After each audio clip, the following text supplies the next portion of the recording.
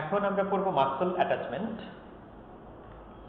তো স্টার্নামের muscular attachment করার আগে আমরা এটাকে একটু বড় করে নিই, এটাকে নিচে নামিয়ে নিয়ে আসি। এই তো দেখো, এই তো আমাদের স্টার্নামের সামনে এক, দুইটা মাসল দেখা যাচ্ছে। একটা হচ্ছে লেফট সাইডের স্টার্নালিস এটা রাইট সাইডের স্টার্নালিস এই মাসলটা সবার থাকে না এইট পার্সেন্ট পপুলেশনে থাকে। এই মাসলটা অরিজিনেট করে হচ্ছে upper part of the sternum থেকে upper part of the sternum থেকে, আর ইনসার্শন হয় হচ্ছে এই রিজিয়নের যে ডিপ ফাঁসাটা থাকে, যেটাকে পেক্ট্রাল ফাঁসা বলে সেখানে বা এই নিচের দিকের যেটা এক্সটার্নাল অবলিক তার অ্যাপোনিউরোসিসে অথবা পেক্ট্রালিস মেজরের নিচের দিকে যে কার্টিলেজ দেখো হাইট করে দিলে কার্টিলেজ আর বোনস দেখা যাচ্ছে সেখানেও হ্যাঁ সেখানেও থাকতে পারে, ঠিক আছে? আচ্ছা আমি এই সাইডের স্টার্লিস্টে সরাই দিয়েছি। এরপরে মাসলটা হচ্ছে পেক্ট্রোলিস মেজর পেক্ট্রোলিস মেজর মাসলটা এটা হচ্ছে লেফট সাইডের এইটা হচ্ছে রাইট সাইডের হ্যাঁ? এখন দেখো পেক্ট্রোলিস মেজরটা এটা এই স্টারনামের যে করসপন্ডিং সাইড থেকে মানে লেফট সাইডের মাসল হলে লেফট সাইডের manubrium manubrium body of the sternum costal cartilages upper costal cartilages এখান থেকে এটার অরিজিন হয় এবং ইনসার্শন হয় হিউমেডাস থেকে। আমরা যখন হিউমেডাস পড়ব তখন আমরা দেখাবো ওখানে কোথায় এটা ইনসার্শন হয়।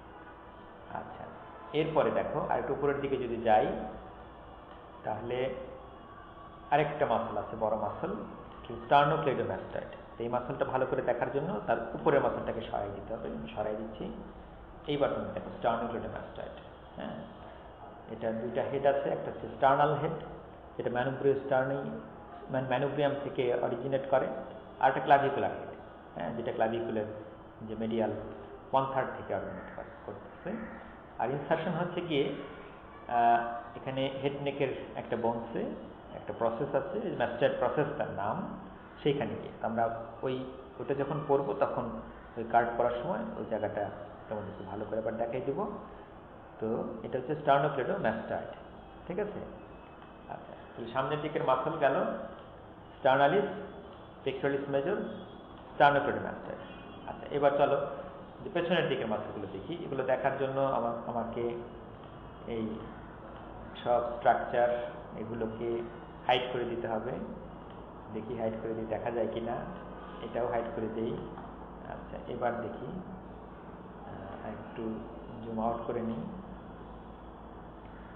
এগুলো সরাই দিচ্ছি যাতে মাসলগুলো ভালো করে দেখতে পারি। এইবার দেখো মাসল ভিজিবল হবে পেছনের দিকেরগুলো আচ্ছা পেছনের দিকের মাসল দেখানোর জন্য আমরা এই এখানে সরাই ফেলেছি। এবার দেখো, পেছনের দিকে স্টারনামের পেছন দিকে, এই যে আমাদের স্টারনাম এই যে স্টারনাম এই যে স্টারনাম হ্যাঁ? তো এই স্টারনামের পেছন দিকে ম্যানোপ্রিয়ামের পোস্টেরিয়র সারফেসে উপরের দিকে যে মাসলটা এটা হচ্ছে স্টার্নো হাইওয়েড মাসল দেখো যে মাসলটা এই পাশ থেকে অরিজিনেট করে হাইওয়েড বনে এই উপরের দিকে হাইওয়েড বনে গিয়ে ইনসার্শন হ্যাঁ ভেতর দিক, ভেতর দিকে।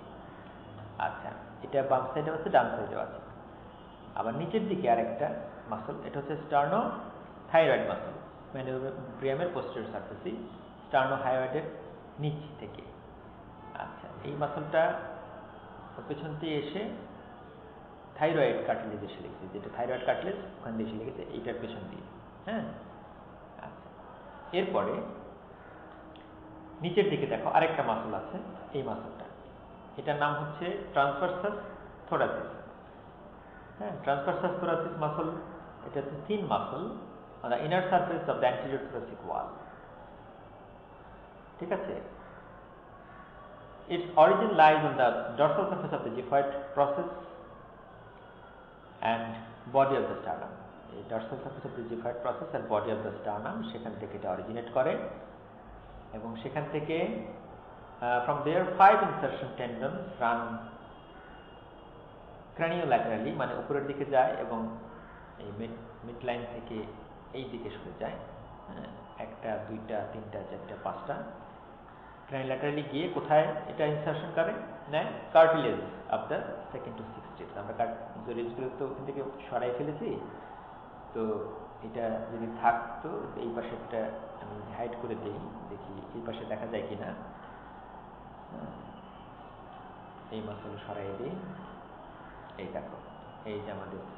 এটা হচ্ছে ট্রান্সভার্সাল থোরাসিস সেটা এখান থেকে অরিজিনেট করে কার্টলেজে গুলোতে এসে সেকেন্ড টু সিক্স রিবের কার্টলেজের সাথে এটি ইনসার্ট করে। আচ্ছা আরও কিছু অ্যাটাচমেন্ট যেটা জিফার্ড প্রসেসের দিকে হয়, আমি একটু উপর উঠাই দেই।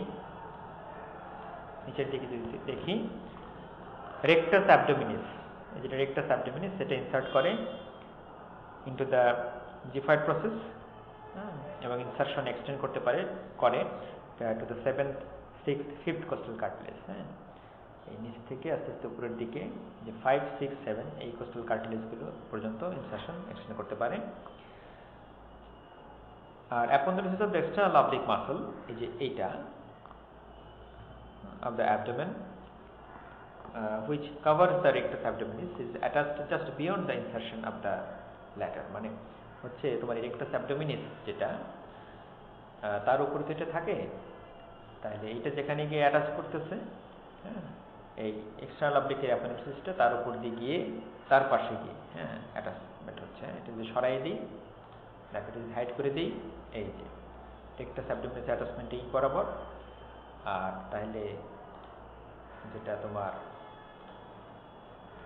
এক্সটার্নাল অবলিক মাসল সেটা হচ্ছে রেক্টাস অ্যাবডোমিনাসের উপর দিয়ে গিয়ে তার উপরে বরাবর এখানে অ্যাটাচমেন্ট হচ্ছে aponeurosis of the internal oblique muscle এই ইন্টারনাল অবলিক মাসল এর aponeurosis and transversus abdominis muscle আমি যদি এইটাকে সরাই দিই, এই রেক্টাস অ্যাবডোমিনিসকে হাইড করে দিই। তাহলে এটা হচ্ছে ট্রান্সভার্সাস অ্যাবডোমিনিস আর ইন্টারনাল অবলিক মাসল এই দুটো অ্যাপোনেরিসিস ও জিফাইড প্রসেসের সাইডে তাদের অ্যাটাচমেন্ট হয়। ঠিক আছে? আচ্ছা। জিফার্ড প্রসেস থেকে একটা হোয়াইট একটা ব্যান্ড একটা কানেক্টিভ টিস্যুর একটা ব্যান্ড একদম নিচের দিকে, এই, এটাকে বলে পিউবিক সিমফাইসিস এই পর্যন্ত বিস্তৃত এক্সটেন্ডেড তো এই স্ট্রাকচারটার নাম হচ্ছে লিনিয়া অ্যালবা হ্যাঁ? লিনিয়া অ্যালবা লিনিয়া অ্যালবার অ্যাটাচমেন্ট